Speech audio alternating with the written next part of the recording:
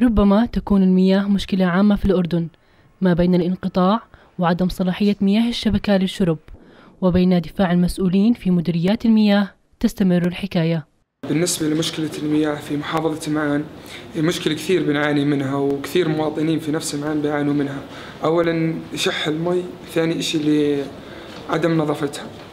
آه وكثير من آه نفس المواطنين عندنا في معان بيضطروا انهم يشتروا مية صحة من برا. وإيش يعني إحنا أنا إحنا في بيتنا يعني يوميا نشتري قلنين أو ثلاث قلنات. يضطر المواطنين في الكثير من الأوقات لشراء المياه وبتكلفة باهظة بالنسبة لهم رغم أن المسؤولين في مديرية المياه تؤكد على استعداد المديرية لتزويد المياه للمواطنين. المهندس سامر المعيطة مدير مياه معان أكد على أن المديرية مهتمة بشكاوى المواطنين وستكون هناك خطة لتحسين جميع المعوقات ومشاكل المياه.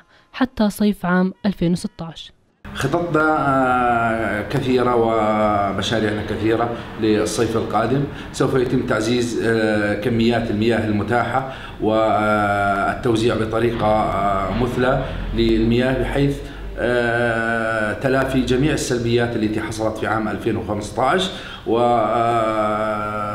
توزيع المياه بطريقة أفضل عام 2016 لتلافي أي معوقات أو أي مشاكل تحدث في صيف 2016 أزمة المياه ومشاكلها في الأردن في ظل الطلب المتزايد عليه ويحتاج إلى التعاون بين المواطن والمسؤول معا والمياه هي الحياة ولا يمكن الاستغناء عنها. لبرنامج منا وفينا حنين أبو كركي.